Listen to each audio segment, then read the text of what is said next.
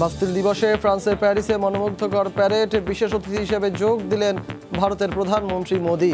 দুদেশের সম্পর্ক উন্নয়নের আশা।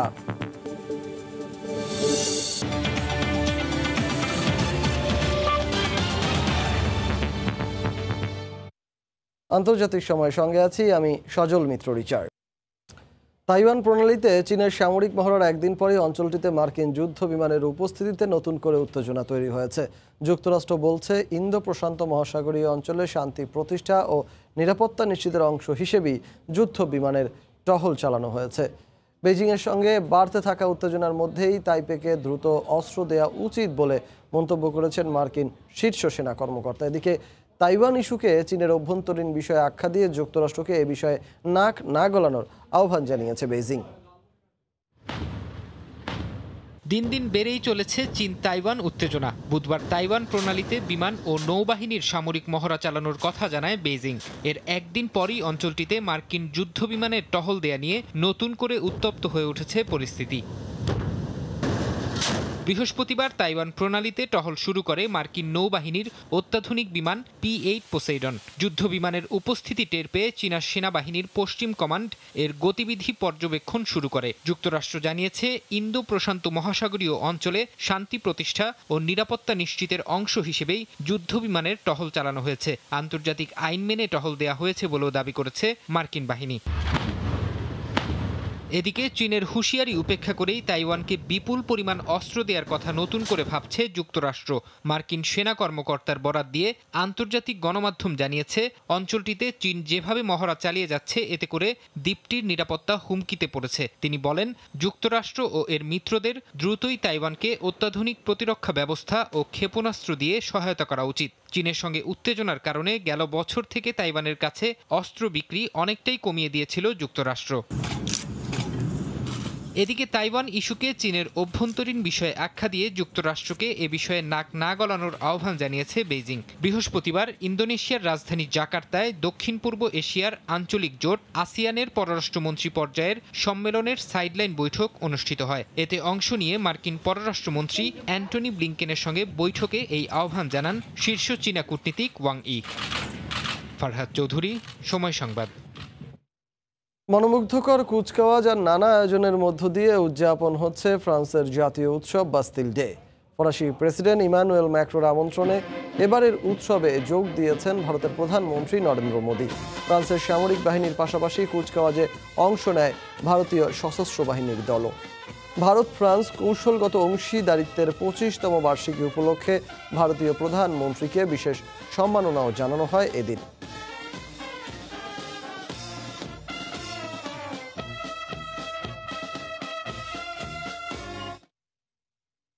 বিভিন্ন বাহিনীর মনোমুগ্ধকর কুচকাওয়াজ নানা আয়োজনের মধ্য দিয়ে ফ্রান্সে জাতীয় উৎসব বাস্তিল দিবস উদযাপন করা হচ্ছে। সেখানে আছেন আমাদের সহকর্মী লুৎফুর রহমান বাবু, আমরা সরাসরি চলে যাচ্ছি তার কাছে। বাবু। ফরাসি বিপ্লবের ঐতিহাসিক সাক্ষী যেটি স্থানীয়ভাবে কেত জুয়ে নামে পরিচিত, বাস্তিল দিবস বা জাতীয় দিবস, নানা আয়োজনের মধ্য দিয়ে দেশটিতে পালিত হচ্ছে এবং গতকালকে থেকে আসলে আতসবাজি প্রদর্শনীর মধ্য দিয়ে নানা আনুষ্ঠানিকতা শুরু হয়েছে এবং আজকে ঐতিহাসিক অ্যাভিনিউ দ্য সঞ্জলিতে এই মুহূর্তে আমি যেখানে উপস্থিত রয়েছি, সেখানে বিভিন্ন বাহিনীর সদস্যরা কুচকাওয়াজ প্রদর্শন করেছেন এবং এই মনোমুগ্ধকর দৃষ্টিনন্দন কুচকাওয়াজ দেখার জন্য হাজার হাজার মানুষ এই মুহূর্তে অ্যাভিনিউ দ্য সঞ্জলিতে জড়ো হয়েছেন, এই এই মুহূর্তে অবশ্য এই কুচকাওয়াজ প্রায় শেষের দিকে। এবারের কুচকাওয়াজে অংশগ্রহণ করেছেন বিভিন্ন বাহিনীর প্রায় সাড়ে ছয় হাজার সদস্য, যেখানে আঠাশটি হেলিকপ্টার, একশো সাতান্নটি বিভিন্ন যানবাহন বাষট্টিটি মোটরসাইকেল, ষাটটিরও বেশি বিমান ও প্রেসিডেন্ট রিপাবলিকান গার্ডের দুইশোটিরও বেশি ঘোড়া অংশগ্রহণ করে এবারের এই বাস্তিল দিবসের কুচকাওয়াজে দেশটিতে এই মুহূর্তে দুই দিনের রাষ্ট্রীয় সফরে রয়েছেন ভারতের প্রধানমন্ত্রী নরেন্দ্র মোদী। তিনিও এবারের কুচকাওয়াজে দেখতে উপস্থিত ছিলেন, তার সাথে উপস্থিত ছিলেন ফরাসি president Emmanuel Macron first lady Brigitte Macron ও প্রধানমন্ত্রী এলিজাবেথ বর্ড এর আগে গতকালকে ভারতীয় প্রধানমন্ত্রী নরেন্দ্র মোদীকে অভ্যর্থনা জানানো হয় বিমানবন্দরে এবং পরবর্তীতে ফরাসি প্রেসিডেন্টের আমন্ত্রণে তিনি নৈশ বুঝে অংশগ্রহণ করেন। এবারে এই বাস্তিল দিবসের যে কুচকাওয়াজ, যেখানে সেখানে ভারতের তিনটি রাফাল যুদ্ধ বিমান অংশগ্রহণ করেছে, তার পাশাপাশি সশস্ত্র বাহিনীর সদস্যরা কুচকাওয়াজে অংশগ্রহণ করেন এবং ভারতের প্রধানমন্ত্রী নরেন্দ্র মোদী সামরিক বাহিনীর যে সদস্যরা এখানে অংশগ্রহণ করেছেন, তাদের সাথে তার একটি সাক্ষাৎ হওয়ার কথা রয়েছে। সকালে কুচকাওয়াজ দেখতে আসেন ফরাসি প্রেসিডেন্ট ইমানুয়েল ম্যাক্রো এবং তিনি এখানে এই যে প্যারেড রাস্তা, যে সেই রাস্তা দিয়ে খোলা জিপে এখান দিয়ে যান এবং এখানে যে উপস্থিত সাধারণ মানুষ ছিলেন তাদেরকে হাত নেড়ে শুভেচ্ছা বিনিময় করেন। এবারের এই কুচকাওয়াজে আফ্রিকার বিভিন্ন দেশের অন্তত ছয়টি সামরিক শিক্ষা প্রতিষ্ঠানের শিক্ষার্থীরা অংশগ্রহণ করেছেন। এবং আমরা যদি দেখেছি যে নাহেল হত্যাকাণ্ডের জের ধরে দেশটিতে যে দাঙ্গা হাঙ্গামা শুরু হয়েছিল এবং তার কারণেই এবারে কিন্তু আতশবাজি সাধারণের জন্য নিষিদ্ধ করা হয়েছিল যাতে কোনো ধরনের অপ্রীতিকর ঘটনা না ঘটে। এবং যে কোনো ধরনের নিরাপত্তা নিরাপত্তা ব্যবস্থায় কয়েক স্তরে নিরাপত্তা ব্যবস্থার বলয় তৈরি করা হয়েছিল। আজকের এই জাতীয় দিবসে ঘিরে পাশাপাশি ভারতের প্রধানমন্ত্রী নরেন্দ্র মোদী দেশটিতে অবস্থান করেছেন। সব মিলিয়ে দেশটির স্বরাষ্ট্রমন্ত্রী জারাল দারমানা জানিয়েছেন, প্রায় পঁয়তাল্লিশ হাজারেরও বেশি আইন শৃঙ্খলা রক্ষাকারী বাহিনীর সদস্য সারা দেশে মোতায়েন ছিল যাতে কোনো ধরনের অপ্রীতিকর ঘটনা না ঘটে। এবং এখন পর্যন্ত আমরা কোনো ধরনের এবারে বাস্তিল দিবসে আসলে কোনো ধরনের অপ্রীতিকর ঘটনার খবর পাইনি। অনেকটাই নির্বিঘ্নে এবং খুবই সুশৃঙ্খল ভাবে এবারের বাস্তিল দিবস উদযাপিত হয়েছে। প্যারিসের অ্যাভিনিউদা সঞ্চালিত থেকে ফ্রান্সের বাস্তিল দিবস নিয়ে এই ছিল এখন পর্যন্ত আমার কাছে সর্বশেষ। ফ্রান্সের প্যারিস থেকে আমাদের সঙ্গে যুক্ত হয়েছিলেন সহকর্মী লুৎফুর রহমান বাবু।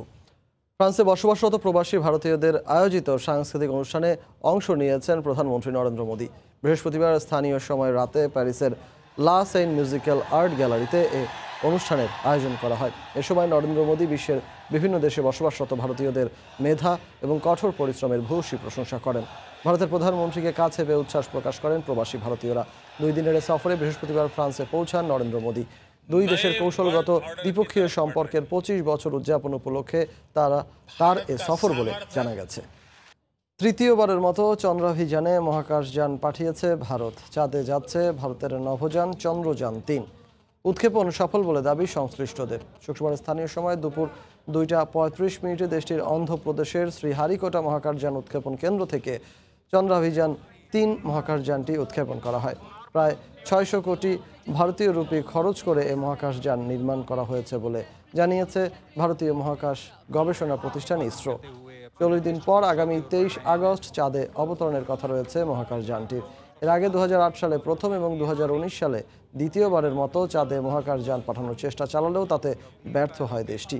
এবার সফলভাবে চাঁদে পৌঁছতে পারলে ভারত বিশ্বের চতুর্থ দেশ হিসেবে চন্দ্র বিজয়ের সাফল্য অর্জন করবে।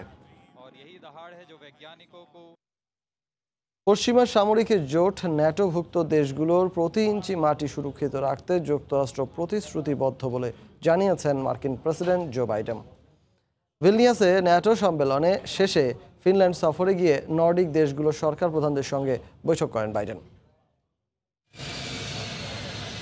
পশ্চিমা সামরিক জোট ন্যাটোর শীর্ষ সম্মেলনে অংশ নেওয়ার পাশাপাশি ইউরোপের বিভিন্ন দেশে সফর করছেন মার্কিন প্রেসিডেন্ট জো বাইডেন।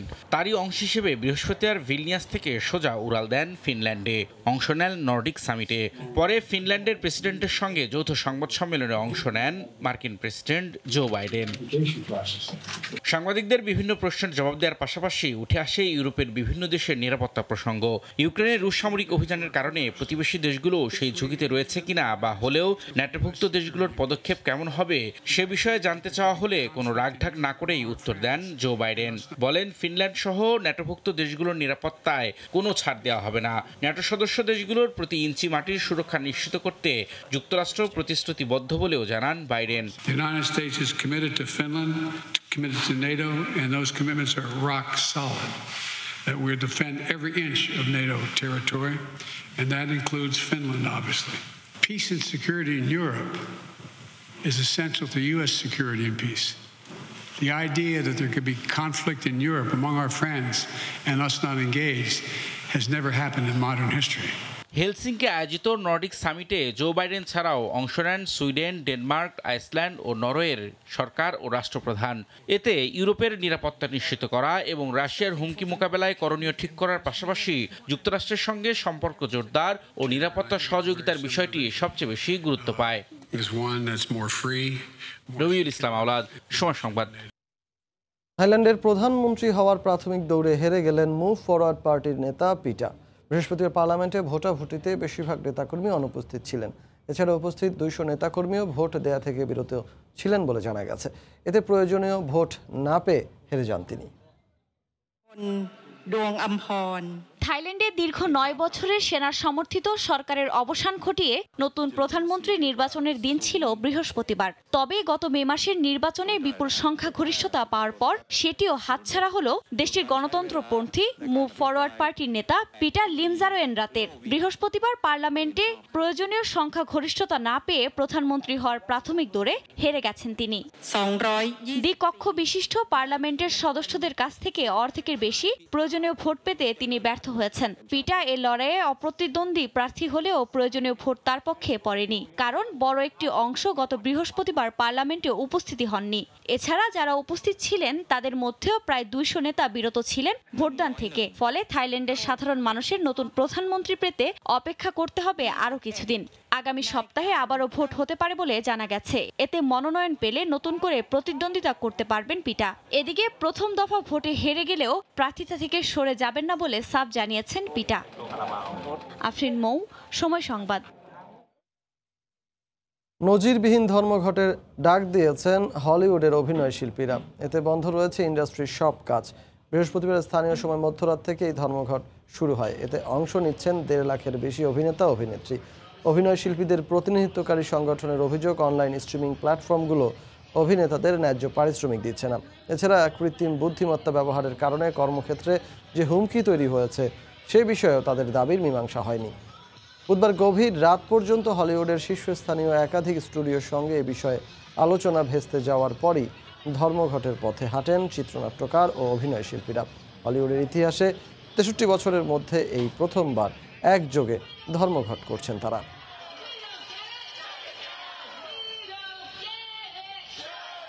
নোয়াখালীতে বিএনপির বিভিন্ন অঙ্গ সংগঠনের পদযাত্রা কর্মসূচিতে বক্তব্য রাখছেন দলের মহাসচিব মির্জা ফখরুল ইসলাম আলমগীর। আমরা সরাসরি যাচ্ছি সেখানে। সব মানুষের বিরুদ্ধে কিন্তু মামলা, তাই না? আর মামলা কি? নাশকতার মামলা, ষড়যন্ত্রের মামলা, বোমা মারার মামলা, এসব মামলা না? অত তার দেখাই নাই। কয়েকদিন আগেও দেখলাম আমাদের নোয়াখালীতে মারামারি করে মামলা দিয়েছে, তাই না? মারামারি করে তারা আর মামলা দেয় আমাদের। আবার আজকে দেখেন কি হয়েছে সমাবেশে আসার জন্য এই উত্তর কুমিল্লা থেকে কত কয়েক শত আমাদের নেতা কর্মী আসতেছিলেন আমাদের আক্তারুজ্জামান মিয়া যিনি আপনার আমাদের ওখানকার কনভেনার তার নেতৃত্বে লাকসামের ওই দিক দিয়ে আসতেছিল। লাকসামে কিছু সন্ত্রাসী আছে জানেন না? এই যে বরকতুল্লাহ পুরুষ সাহেবকে আক্রমণ করে পরে মেরেই ফেলেছিল। তার স্ত্রী আমাদের ভাবিকেও প্রায় মেরেই ফেলেছিল। ওই লাকসামের সন্ত্রাসীরা। আবারও আজকে তারা হামলা চালিয়েছে। একশতের উপরে মানুষকে তারা আহত করেছে, গাড়িগুলো ভাঙচুর করেছে। কিছুদিন আগে আমাদের নেতা কালাম সাহেব লাকসামের তার বাড়ি ঘর সব ভাঙচুর করেছে একজনকে মেরে ফেলেছে, তাই না? এই হচ্ছে আওয়ামী লীগের চরিত্র। এটা শুধু নোয়াখালী নয়, সারা দেশে বন্ধুগণ। আর এই কারণেই আমরা দেখেছি যে আমরা গত কয়েক বছর ধরে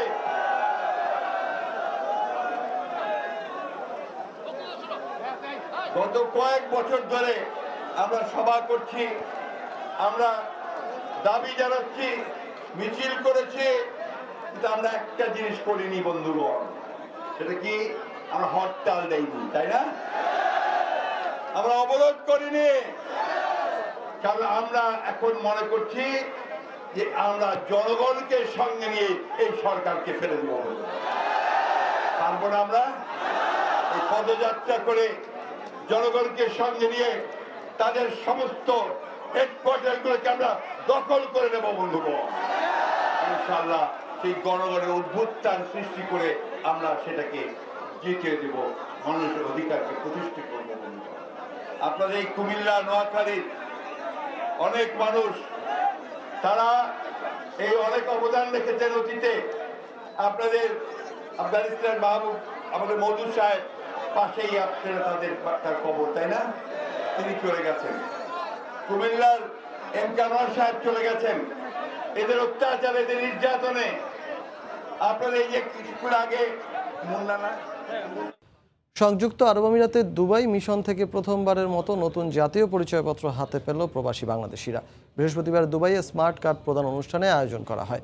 প্রতিদিন গড়ে পঞ্চাশটি আবেদন গ্রহণ করা হচ্ছে বলে জানান কনসাল জেনারেল শিবলি আল সাদিকের রিপোর্ট। সংযুক্ত আরব আমিরাতের আবুধাবির পর এবার নতুন জাতীয় পরিচয়পত্র পেলেন দুবাইয়ের প্রবাসী বাংলাদেশিরা। বৃহস্পতিবার দুবাই বাংলাদেশ কনসুলেটে আনুষ্ঠানিকভাবে প্রবাসীদের হাতে স্মার্ট কার্ড তুলে দেওয়া হয়। কনসাল জেনারেল জানান, মাত্র সতেরো দিনের কর্মদিবসে দুবাইয়ে আটশো আটত্রিশটি এনআইডির নিবন্ধন সম্পন্ন করা হয়েছে। প্রতিদিন গড়ে পঞ্চাশটি আবেদন গ্রহণ করা হচ্ছে। আগামীতে নির্ভুল জাতীয় পরিচয়পত্র প্রদানে আত্মবিশ্বাসী তারা আবেদনের এক মাসেরও কম সময়ে স্মার্ট কার্ড প্রবাসীদের হাতে তুলে দেওয়া হচ্ছে বলেও জানান তিনি। সতেরোটি কর্মদিবস আমরা জাতীয় পরিচয়পত্র নিবন্ধন করেছি। এতে প্রায় সাড়ে আটশোর মতো মানুষকে আমরা জাতীয় পরিচয়পত্র প্রদান কার্যক্রমের আওতায় নিয়ে এসেছি। আজকে প্রায় একশো জনকে আমরা স্মার্ট কার্ড প্রদান করেছি। অনুষ্ঠানের প্রধান অতিথি নির্বাচন commission brigadier general Ahsan Habib Khan জানান আগামীতে এনআইডিতে পরিবর্তন আসবে।